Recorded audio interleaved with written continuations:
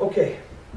Eine Frage, die des Öfteren gestellt wird, gerade in der heutigen Zeit, ist äh, das Urteil zu Tätowierungen. Die Antwort ist, sich tätowieren zu lassen oder jemand zu tätowieren, ist haram und gehört zu den großen Sünden. Es wird im Bukhari überliefert von Ibn Mas'ud. Ja, لعن الله الواشمات والمستوشمات والنامسات والمتنامسات المتفلجات للحسن المغيرات خلق الله. Ja? Allah verflucht den, der tätowiert und der sich tätowieren lässt, also der fordert, tätowiert zu werden und die die Augenbrauen zupft und die dazu auffordert, dass die Augenbrauen gezupft werden. Und dann früher haben die die Zähne auseinander gemacht, um schön zu sein, genau das auch. Die, die die Schöpfung Allahs verändern. Prinzipiell ja, gibt es so eine kleine Faustregel bei sowas.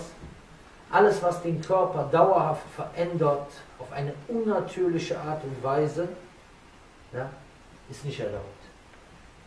Es sei denn, es gibt einen Beweis dafür aus Koran und Sunnah. Zum Beispiel Beschneidung. Das kommt hier was mit Beschneidung. Sagen wir ja, Beschneidung haben wir einen spezifischen Beweis, der das erlaubt. Und nicht nur erlaubt, sondern nach einer großen Anzahl der Gelehrten ist das sogar eine Verpflichtung. Ja? Es hat jemand den Islam angenommen, der Prophet sagte zu ihm, Alki anka sha'ar kufri wachtate. Entferne von dir die, die, die, die, Haare des Kuffers und, das wird als, und lass dich beschneiden oder beschneiden dich. Nochmal zur Tätowierung. Das heißt, die Tätowierung ist nach diesem Hadith ganz klar und deutlich verboten. Und da gibt es auch keine Meinungsverschiedenheit. So, die Frage ist jetzt, äh, ein Schwachsinn, der immer wieder erzählt wird, ist, und deswegen mache ich auch das Video vor allen Dingen, ja, man kann ja nicht mehr beten, wenn man ein Tattoo gemacht hat, weil ja, äh, weil ja dann die Gebetswasche ungültig ist. Ja, und das erzählen einige Leute im Namen des Wissens und das sind die Leute, denen man sagt, bitte den Mund zumachen. Eine Tätowierung ist unter der Haut. Und da siehst du dann Leute, die haben sich tätowieren gelassen, die haben eine Zeit gehabt, die wollen dann auf einmal anfangen zu beten und dann kommt dann der super Islamexperte und sagt zu denen, ey, du darfst gar nicht beten, weil du deine Gebetswaschung ist ja ungültig. Hallo, bist du noch zu Hause oder was? Selbst wenn, selbst wenn das jetzt nicht mehr ging, was soll er denn dann machen? Stell mal vor, du verlierst bei, einem, verlierst bei einem Unfall den Arm. Da kannst du den Arm auch nicht mehr waschen, weil er ist ja nicht mehr da. So sagen wir dann, dann betest du nicht oder was? Ja, was sagen wir dann? Fatakullah, mastatatum, fürchtet Allah, so gut wie ihr könnt, aber es ist Quatsch. Das Tattoo ist unter der Haut und das Tattoo ist eine Farbe.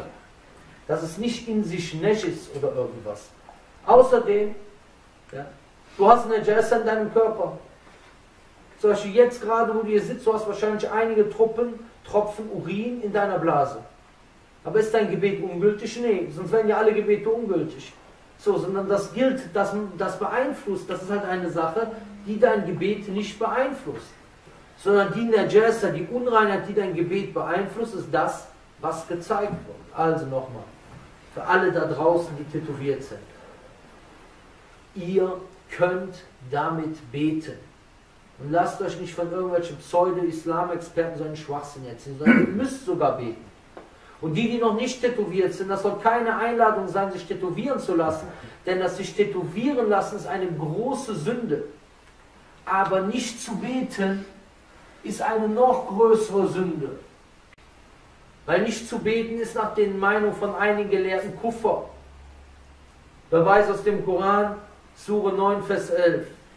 فَإِن تَابُوا وَأَقَامُوا الصَّلَاةَ وَآتَوْا الزَّكَاةَ فَإِخْوَانُكُمْ فِي الدِّينِ und wenn sie Toba machen, die Mushrikun, die das heißt, die sagen, ich habe einen Fehler gemacht, der Weg, meine Religion war falsch, ich will jetzt Islam annehmen.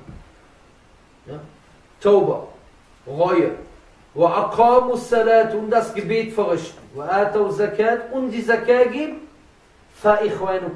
Dann sind sie Brüder mit euch im Glauben.